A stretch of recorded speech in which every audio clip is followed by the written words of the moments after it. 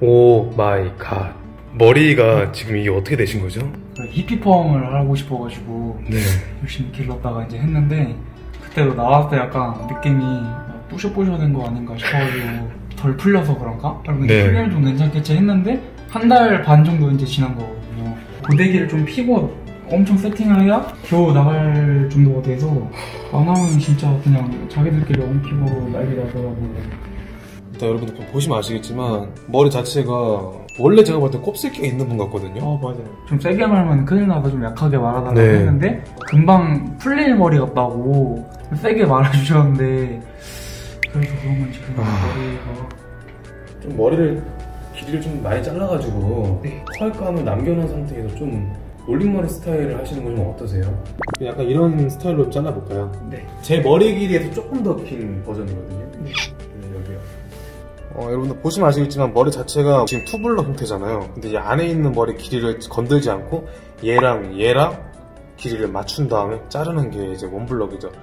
자를게요.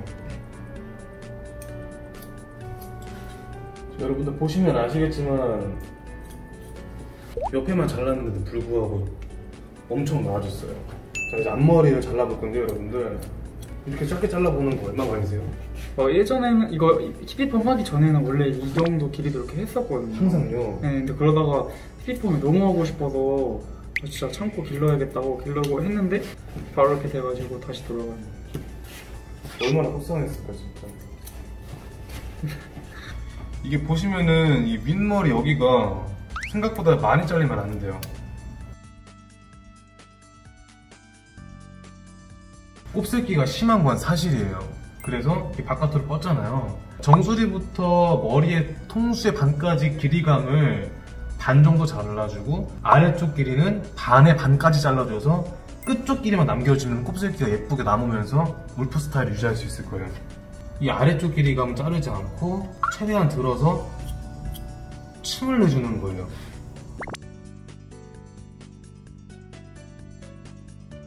자 이제 이 구역 여기서부터가 이제 곱슬이 심해서 바깥으로 튀어나오잖아요. 그래서 이런 경우에도 바짝 들어서 커트해 주는 거죠.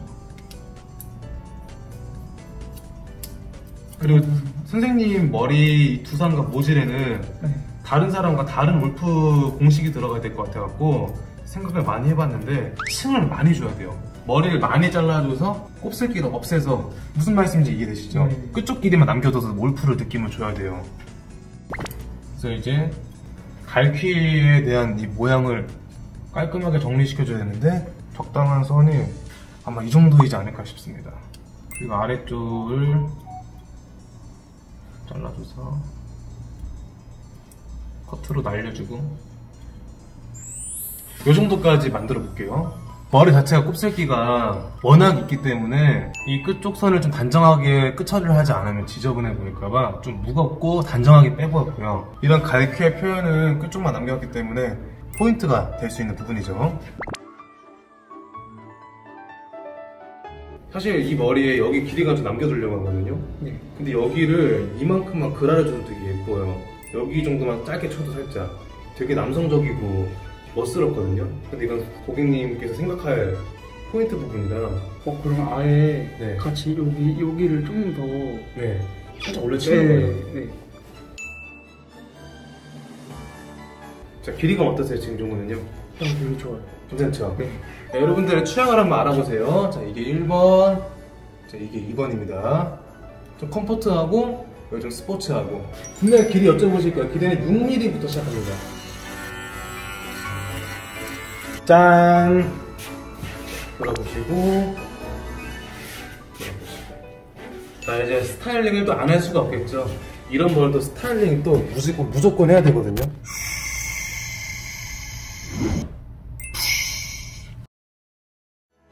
이게 이 머리는 오히려 띄우는 것보다 단정하게 딱 눌러서 끝에 질감만 주는 게 중요하거든요. 네. 평소에 볼륨감을 네. 좀 죽이시고요. 텍스처로 볼륨 살려주세요. 이게 무슨 말이냐면은 이렇게 눌러주시고 이런 텍스처로만 살려가지고 볼륨을 주는 소리예요. 쓸수록 강해지는 풍강해라 왁스 지금 바로 만나보세요. 이번 여름에 유행을 강타할 crop wolf cut 스타일입니다. 음. 포즈 한번 취해주세요.